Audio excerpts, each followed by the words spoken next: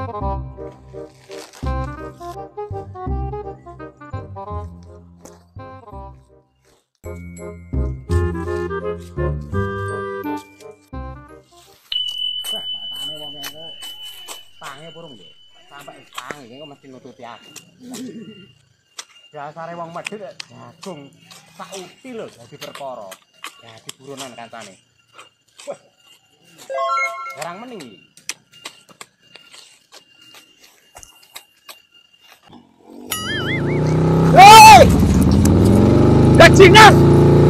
Eh, jalan motor kau! Gak tau?